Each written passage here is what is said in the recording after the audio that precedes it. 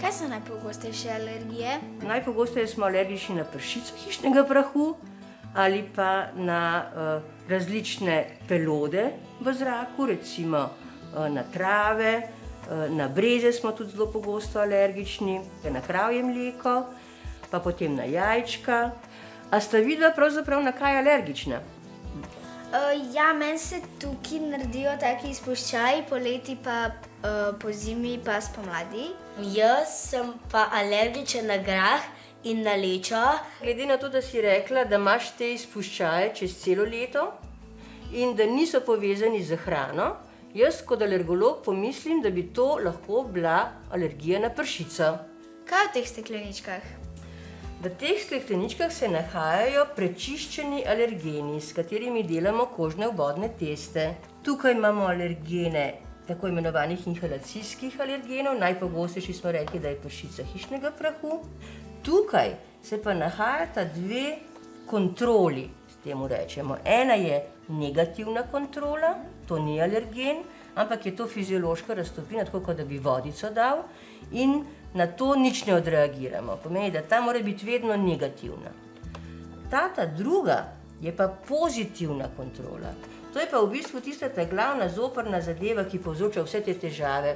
Tako da mi boš dala zdaj rokico, tako, in bo vam medve dale negativno kontrolo, nanesem kapljice na notranji del podlehti, potem bova pripravila pozitivno kontrolo, histamin in še pršico hišnega prahu. Zdaj bomo pa te kapljice prebodli z tole lanceto. Zdaj vidiva, katera je ta prava. Prebodem, takole pridem v sredino in ene dvakrat zavrtim. Tole smo rekli, da je pozitivna, histamin, ki vedno mora biti pozitivna. In zdaj pri tebi, ker gledamo pršico, bo to edini alergen, ki nas bo pa res zanimal. Ali lahko mi ga probava um, za mojo alergijo na grah? Ja, lahko. Joj, Srbi, a se lahko popraskam? Ja, če čisto malo poglej, zdaj bova mi to hitro očitala, ponovila in se boš potem lahko šel praskat, še boljše pa, da boš šel pod hladno vodo.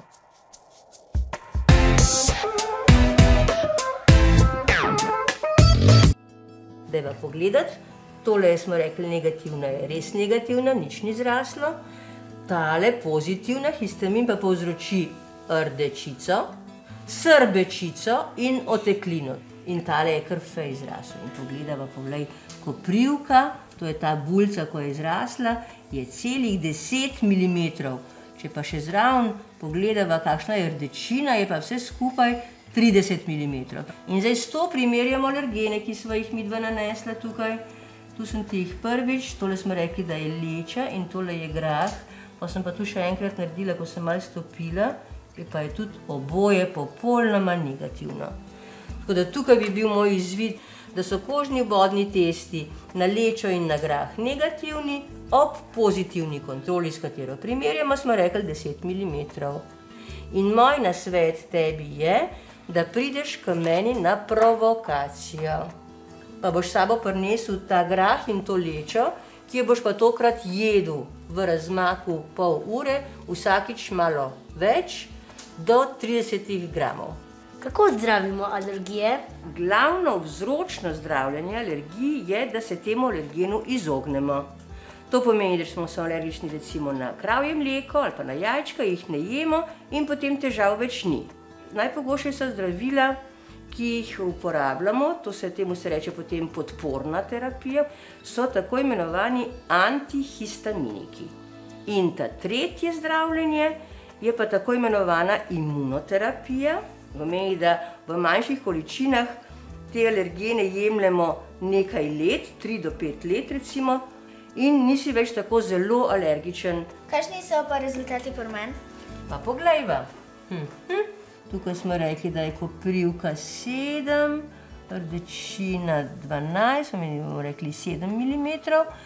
Tale pršička je pa tukaj čist negativna, kar pomeni, da nisi alergična na pršico hišnega prahu, imaš atopijski dermatitis, ki je kronična bolezen kože in je alergen samo eden od sprožilnih dejavnikov. In pri tebi zaenkrat k sreči ni pršica spražilni dejavnik, ampak je spražilni dejavnik po zimi, ko je suh zrak, poleti, ko se potiš, pa te tukaj srbi.